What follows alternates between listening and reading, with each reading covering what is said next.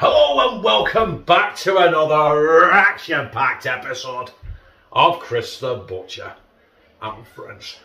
And you know what? I apologise for the lighting. The weather has been shit all day and I put the kitchen light on and because I've got spots on the kitchen, it's like beams of light. I'll show you, put light on quick. The light on, look. Ah. So it, it, it looks shit. I've got my lamp there, which is giving me some. It's a proper proper video photography lamp thing. I've got two, but I've only set one on I can't set. I can't be arsed setting the other one on. Uh, so yeah, it's giving me some light, but it's so dull out there, it's unreal. And I don't know why the spots are all, all of a sudden affecting the camera. Because I normally have the light on, but they don't normally do that. But I think they're drowned out with the actual daylight, natural light coming through. And I can that, I can put that light there, spin it this way, but it just reflects off all the tiles and the cupboards, and it it just looks shit. Fuck me, what am I talking about here now? What are we doing? Oh yeah, uh, I'm doing a healthy-ish spaghetti aglio e olio.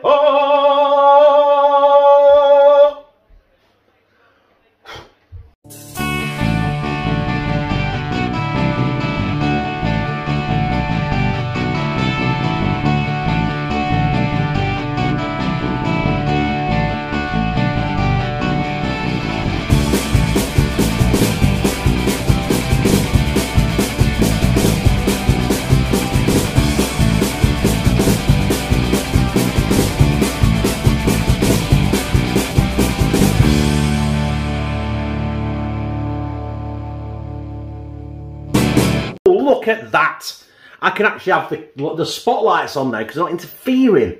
Look at that light, that's good in it.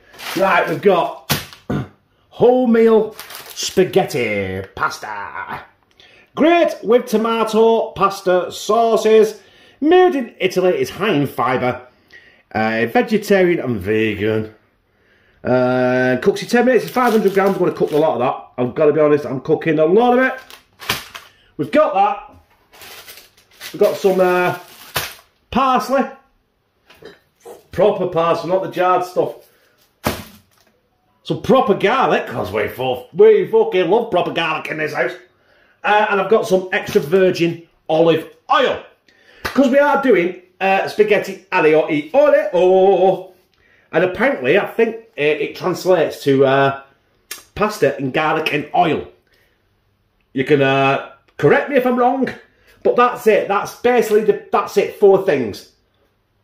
And uh, yeah, we're going to get cracking. The first thing we're going to do though is got to get this wholemeal pasta on. So there's one thing I did forget to say that the water that you're going to cut your pasta in has to be heavily salted. Now I have done that. That is laced with salt because you use you're using the water the, out the pasta to actually put in the uh, the dish as well. Not all of it, about a cupful. Might be might be more than a cupful because I've got a fucking mountain of fucking wholemeal pasta. I hope Lou's hungry. Uh, so yeah. Ah, oh, fucking twisted it. It fuck all, did it? Right. There we are, wishy-washy, wishy-washy. Fucking in. Right, now while that pasta's doing its thing, I've got garlic to cut and I've got some parsley to cut. Uh, because this dish comes together fucking rapid.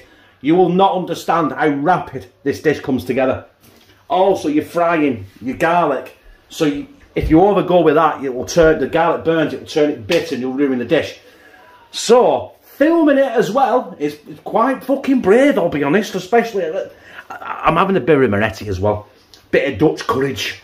Right away, let's stop talking and start chopping. So with the garlic, you've got to actually cut it as thin as you can. I don't know if you're on camera there, but you, you, can use your fingers like that and just...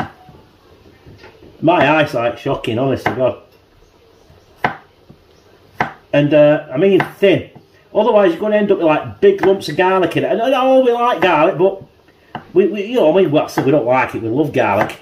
But, uh... We don't like it that fucking much. God almighty, my eyes won't focus. Look, I need some fucking binoculars, man. I should have cut it through lens at camera on full zoom. Jesus fucking H Christ. Basically like that, can you see? I've got four of these fuckers. Do you know when I said it was time sensitive? Uh, I weren't fucking joking, was I? Because it's going to take me three hours, cut them bastards. But there we are. Something like that. See if I can get to the camera. Nice and thin. Whoop. Bit crude. Right, I'll crack on. I'll be back with the parsley.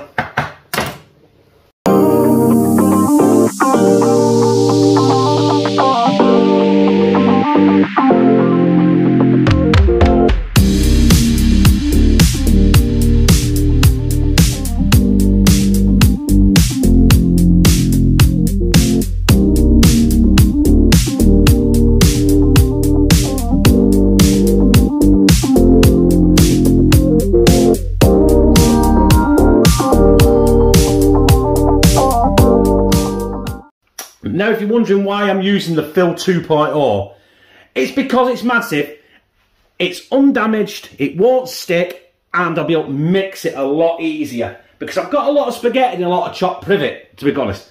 But the first thing going in is a, a good glug of extra virgin olive oil. And uh, that pan's been on that heat, so that'll be a mighty hot now. So we're going to go in with our finely sliced garlic. Like I said, this will come together rapid. You don't want that garlic in that oil on its own like that for more than a couple of minutes. Otherwise, you'll just ruin the whole thing. But you just want them to cook a little bit, loosen up, soften up a tiny bit, and then uh, we'll be going in with the uh, pasta water that's laced with, with salt. And then I said sugar then. Fucking it is laced with sugar, I'm just fucking defeating the object. But no, it's laced with salt. Right, we're going to do that very, very soon. Right, we need to get our pasta water in there rapid. Whee! We knew that would happen. See there, I've kind of burnt a bit of the garlic. Now I'm hoping I'm going to salvage that. I'm hoping so.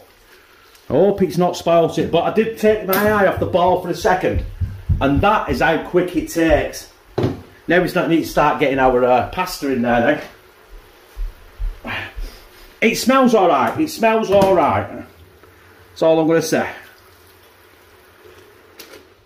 Get our pasta in. There's a lot of it. Might take a time this. Right, I've got the rest. I'm just going to drain it quick so I can stick it straight.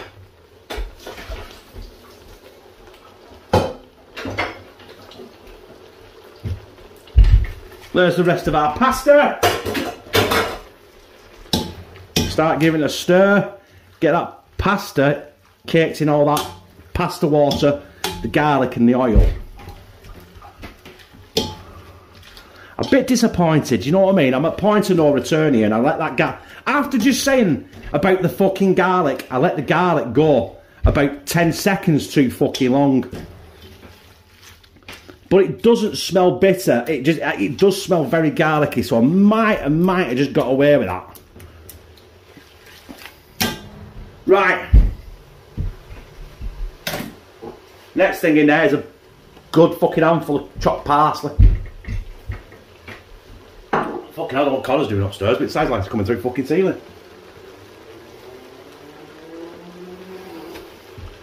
Chopped parsley, we'll save a bit for garnish. That's all we're saving that for, is to put on the top. And now we just, fuck me, it out, smells like I've just mowed lawn. Just get that mixed, incorporated in there. Let that spaghetti finish off cooking. Said it takes 10 minutes to cook, I let it go for, 8 minutes. So it'd have a couple of minutes in the uh, in the pan here, so it, hopefully it'll finish off cooking. They say, don't they, before you just cook it, just before it's, it's el dente. Now, I don't think anybody knows what fucking al dente is.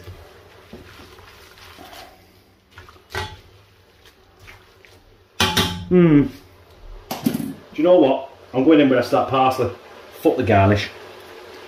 It's either going to be on it or in it, in it. You know what I mean? There we go. Bloody hell.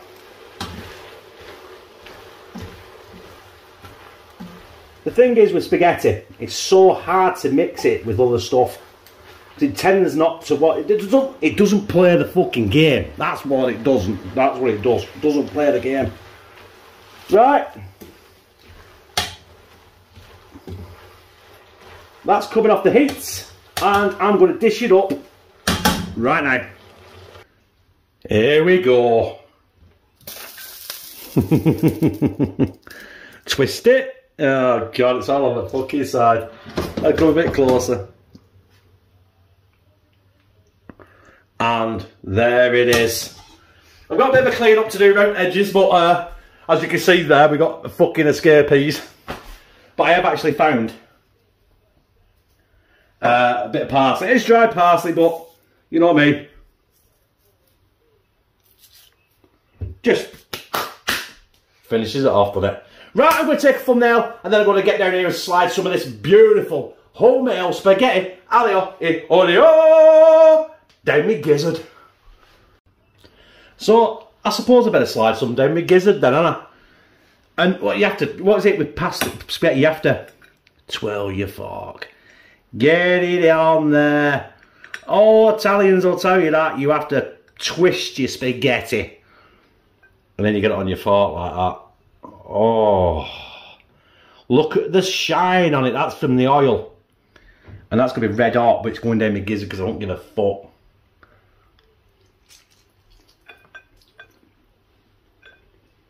Mmm.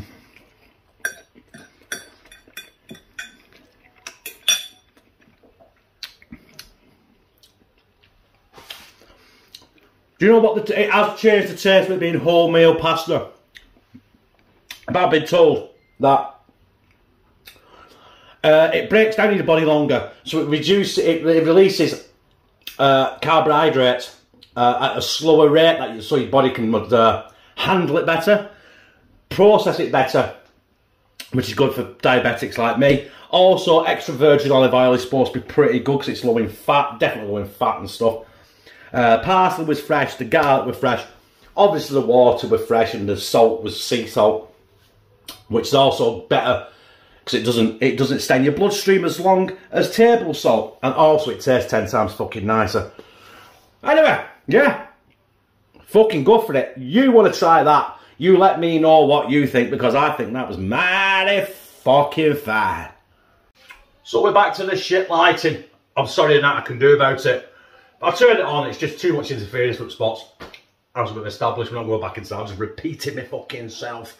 Anyway, that spaghetti aglio e olio oh, with wholemeal pasta was absolutely superb. I, I liked it. If you like this, press like, comment, share it on your social media, and subscribe.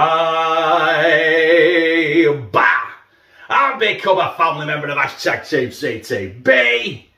Where I, yeah, this fucking big daft diabetic prick fucking loves you.